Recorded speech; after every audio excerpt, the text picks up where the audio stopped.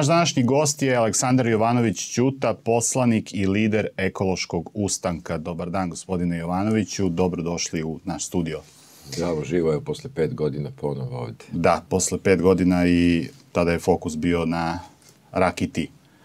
A, u danu smo kada mnogi gradonačelnici i predsednici opština na jugu Srbije i po celoj Srbiji podnose ostavke i a, najavljuju izbore za 17. decembar. Kako a, komentarišete tu situaciju i taj talas ostavki u Srbiji? Pa tako što Paris Saint-Germain vodi svoju privatnu firmu, ne državu. Vodi i lokalne samouprave i, i gradove u vanredno stanje samo zato da bi prošlo što bolje na izborima i to je ono što smo viđali zadnjih deset godina u kojima se ni do sad nijednom nisu desili razdvojeni izbori i poštovao izborni zakon, ništa novo za njega da, da naređenje ovim svojim robovima da daju ostavke. To, to je njegov manir očekivano. Naravno, to nije bilo u skladu sa zahtevima koje smo ovaj, tražili, a tražili smo a, do kraja godine a, beogradski parlamentarne izbore, upravo iz razloga da bi se to prvi put za ovih deset godina desili razdvojeni izbori. To se nije desilo, opet odgovorili na, na većinu zahteva kad su pitanje izbori, pa nama nema ništa drugo nego da teramo dalje. Imaju li smisla lokalni izbori koji su zajedno sa parlamentarnim i po ovakvom izbornom zakonu gde će Aleksandar Vučić nositi liste na svim mestima na jugu Srbije?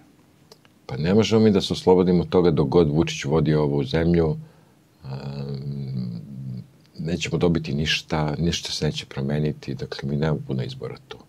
Mi smo tražili izbore, na ove izbore moramo da idemo, a, jedino što je posle deset godina drugačija atmosfera i uopšte situacija u zemlji koja je i ta cela priča oko njegove vladavine dovedena do do potpune propasti, kažem, nikakve veze nemaju a, događaji u zemlji, a, priče o velikim energetskim projektima, priče o Jovanjici, priče o Kosovu, on beži iz Kosova, iz, sa Jovanjice na Kosovo, da bi sakrio Jovanjicu, beži na Kosovo, da bi sakrio Kosovo, sad beži u izbore i to su te njegove igrice, on je kao neki mandrak koji stalno izvoči neke neke zečeve i šešira, ništa to novo nije i nemamo mi sad puno iluzije o tome, o, oko toga da će on nešto dati. On neće dati ništa. I jedno što stvari više nisu iste ni kao ni pre dve godine, ni kao pre deset godina. Ovaj, dođe svemu kraj, pa i i ovoj vladavini Aleksandra Vučića, setimo se Slobodana Miloševića, ja sam si, mislim čak i da je dobro što raspisuje izbore na lokalu, zato što na lokalu um, kreće sve, ljudi tu imaju konkretne životne probleme i mislim da je došlo vreme da, da ljudi koji ovde znaju ovaj, šta je osnovni problem i u Nišu i u Požarevcu i na svim mestima, ovaj, konačno kažu ne, ovaj, bez straha Aleksandru Vučiću, a bez straha od gubitka posla, jer na tome leži čitav taj princip vladavine, jer ako sam ja predsednik opštine, a vašeg supruga radi kao recimo službenica, onog momenta kad, kad vi napišete nešto loše na fejsu o Aleksandru Vučiću, vaši supruzi sledi otkaz. I taj strah od otkaza, od gubitka to, te jedne plate koja ulazi u kuću, u situaciji kad dva miliona ljudi živi na ivici gladi, a pola miliona ispod svake granice gladi, bukvalno Srbijom vlada, vlada glad, taj gubitak posla je proizvođač osnovnog straha i na tome leži ova vrlo je prosta ta njegova koncepcija, konstrukcija SNS, ali ljudi više, niti on može da ispuni ovaj, osnovne elementarne potrebe građana, koji kad dobiju račun za struju, da, za grejanje i tako dalje, kad kupe lekove, te njegovi, njegovi penzioneri, ostaje na kraju da se ovaj, grabe za kontejner. Pa pogledajte samo koliko ljudi ima na kontejneru, to je zemlja vladavine i zemlja Aleksandra Vučića s druge strane, u svakom gradu i u maloj sredini, gore sve do Dedinja, vidjet ćete ljudi koji se enormno bogate, za to vreme nam on priča kako nam mnogo dobro, kako je dobro da nam gura reke u cevi, kako je dobro da iz gornjih intelica ljude raseljava, kako stvari nama super, samo mi to ne znamo i kažem to, kao i sve ostalo, ima svoj rok trajanja, njegov se bliži i nije više baš ni u milosti ovih koji su ga i doveli ovde, to je ovaj, međunarodna zajednica, tako da Ja razmišljam samo o tome šta se dešava nakon njega, jer računam da će on vrlo brzo i da ode. Da li zaslugom opozicije ili njegovom ličnom, jer on super radi na tome da sam sebe sruši. Mislite da sam da se povuče? Pa mislim da on ove, ovaj, više nema kontrolu nad od Radovičića, Zvonka Veselinovića, Željka Mitrovića i svih njegovih tih Eskobara koji drže svoje posede, koji, koji barataju milijardama.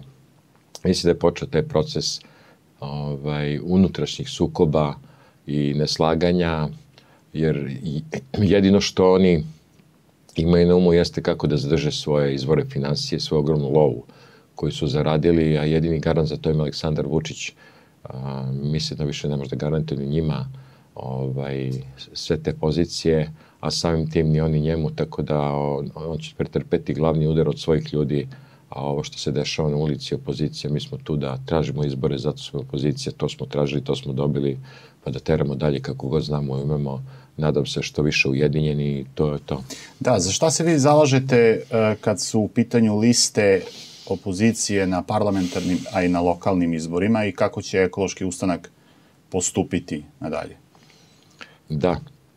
Ja da sam se pitao, ja bih ujedinio sve, i desnicu i levicu, i naravno i nevladin sektor, ne samo političke stranke i partije, jer rušiti Vučić je istorijski posao i to zahteva napor kompletnog društva od svakog pojedinca, poznate ličnosti, profesora, akademske zajednice, institucija, širokog svih slojeva društva, pa naravno i političkih stranka. Ja, ja to zamišljam kao jedan sveopšte narodni front, s tim što se to naravno neće dogoditi, s obzirom da se zna da kod nas ako neko uspe da da spoji trojicu, tri čoveka, da se uveđu vremenu ne posvađaju, njemu treba se izgradi spomenik. Tako da ja ne znam u ovom trenutku koliko će se kolone ići, ali ukoliko god da se kolona ide, ove, mislim da su njegove slabe tačke Beograd i dobro što je ove, on pristao da Beograd da ove, vide Šapić juče da ostavku ili danas, već ne znam kad, ovaj, da se načne tamo gde je najslabiji, na kraju krajeva taj rezultat na kraju ne mora bude pobeda, ali mislim da bi taj rezultat na kraju mogao da dovede da on ne može da sastavi većinu, a nisam siguran baš ni da taj njegovi koalicijni partneri, SPS pre svega, pa i ostali, baš ono, sa simpatijama gledaju to što se, sve, što se dešava trenutno u Srbiji, tako da i tu može doći do razdora, ni oni baš ne stoje baš tako složno ovaj, u ovom trenutku. Pa imamo s jedne strane to što čini opoziciju, to što čini ulicu, to što čini nevladin sektor, to sve, sve što više neće da trpi ovu čemu živi. Imamo na druge strane to što čini on. Mislim da se više neće dogoditi da on ima preko 50%, ako ga spustimo u Skupštini na negde 80 poslanika, da je on već to u, tu velikom problemu, tako da ovde možemo da očekamo sve i svašta od nekakvih vanrednih stanja, prelaznih vladi, vlade, vlada nacionalnog jedinstva, do, ne bi se iznenadio čak i da on u ovom trenutku kaže ja, evo, toliko od mene, sve sam izgradio, sve sam dao, dao sam plate, penzije, puteve, toliko od mene, ne morate mi sagradite spomenik i da nekako sam ovaj, pod nekim okolnostima, normalno uz pomoć, kažem, i nekih stranih faktora, on u jednom trenutku a, nestane sa političke scene. A, inflacija je velika u, u zemlji, a, da li ćete uspeti da to nametnete kao temu i koju bi još temu hteli da nametnete u odnosu na one geopolitičke teme koje će verovatno da. biti u fokusu? Da. Definitivno glad koja hara Srbijom, a, s druge strane glad za pravdom, jer ovde ljudi nisu samo gladni hleba, već su gladni pravde i to su teme, pored ovih ekoloških tema, jer pritisak na naše prirodne resurse se nastavlja. Dakle, vi sad i ne, mi sad i ne znamo, ovaj, pošto u moru tih svih informacija od Banjske, kažem, Jovanjece i svega što se dešava, mi ne, nemamo fokus na tome šta se dešava sa otvaranjem novih rudnika, sa kasapljanjem šuma. Ovaj, hvala Bogu, hidrocentrala više nema, ali u ovom trenutku je a, u toku čerupanje svega što je naš prirodni resurs, planirane, planirane su na desetine novih rudnika i tu su kompanije za koje se i ne zna, svi znamo za Rio Tinto, Dandi, Zijin i tako dalje. Srbija u ovom trenutku pod napadom a, gomile inostranih kompanija, to je ta, ta priča o, o tome da sve što ovde donosi bilo kakvu ogromnu zaradu, dalje zlato, bakar, nafta, šuma, voda, ovaj, polako prelazi u privatne ruke i nestaje. A, takođe,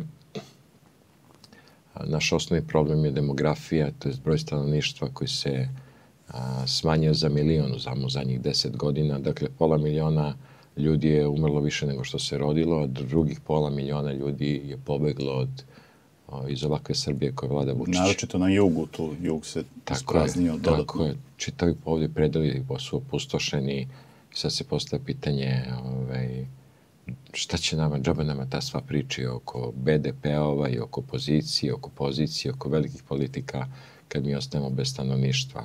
To je naš osnovni problem. Tako da to, to, je, to, je, to su sve, to je slika Srbije koja zapravo više nije država, nego je bukvalno pr privatna firma, kriminalna na čelu sa Aleksandrom Vučićem i njegovim pajtosima. A, pomenuli ste razne multinacionalne kompanije i sa zapada i sa istoka koje žele da rade u Srbiji. Pomenuli smo i Rakitu na početku i Rakitu pre pet godina. Da li je to bilo nevinije vreme u odnosu na ovo danas? Mm, da.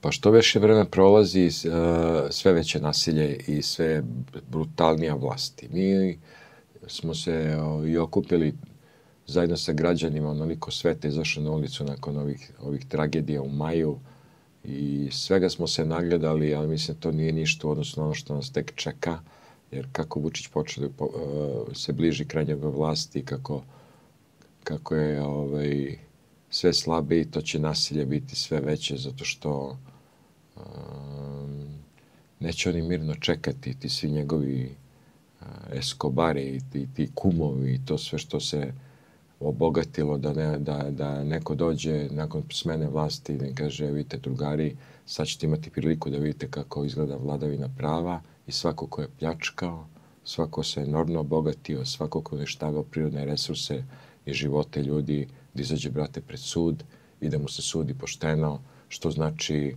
sigurno dugogodišnje zatvorske kazne za sve te likove, ali s obzirom da znamo s kim imamo posla, oni to mirno gledati neće. Oni će probati ovaj, normalno da da uradi isto ono što uradio Legija i ta ekipa kad je 5. oktobra došlo do smene vlasti da se dogovore sa nekim novim predstavnicima vlasti i da, da im se ništa ne dogodi, a mislim da, da, da se to više neće dogoditi. Što se mene tiče, ja sam između ostalog došao, između toga ostalog došao ovde da smenimo vlasti, da se više nikad ne dogodi Vesići nakon 5. oktobra, pa svi ti njegovi ovaj, Miškovići, sve to što nije snosilo apsolutno nikakav, nikakve sankcije, nije odgovaralo pred zakonom, samo nastavljeno ono što su i do, do sada radili, vrlo prosto pitanje postavljam svima, da li u ovoj zemlji za ovih 30 godina bilo ko robio zbog pljačke, epske pljačke države i sobstvenog naroda? Niko. Pa došlo je vreme da neko odgovara